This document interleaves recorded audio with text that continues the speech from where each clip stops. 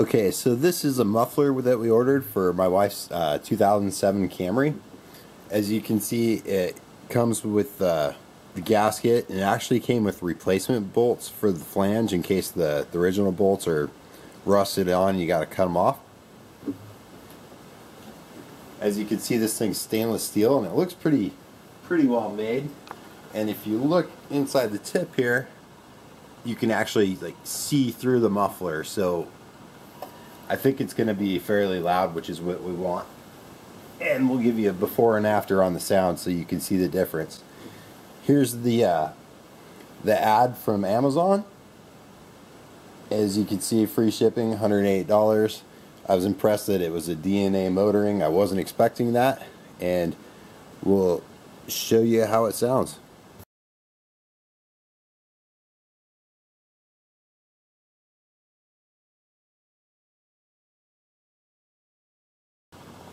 Okay, so this should have been a really simple install. I mean, it was only two bolts and three exhaust hangers. But if you can tell by the picture, that exhaust tip is crooked. So I've got a bar and a and a tie down strap, a ratchet tie down to try to straighten out as much as possible. But it, it looks like a manufacturing defect. When they put it in the jig or whatever to weld it up, they must have had it turn just a little bit.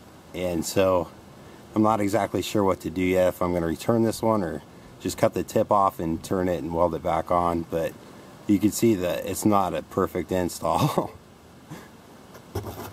so here's the tools we used for the install. It's just a pair of channel locks, a pry bar, and a 14 millimeter wrench and a 16 millimeter wrench. We also used a jack and a jack stand and a creeper, but you know you, you could always use ramps and you don't really need a, a creeper so this is basically what you need.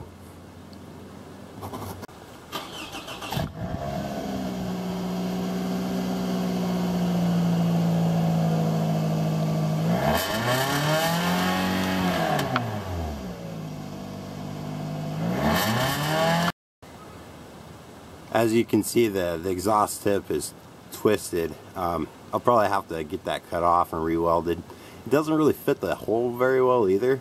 It's uh, touching the plastic on the ground effects on both sides and I started to trim it a little bit to see if it was the ground effects causing the twist but it wasn't. It's definitely, you know, the muffler was welded wrong when it was in, you know, put together. So here's the after.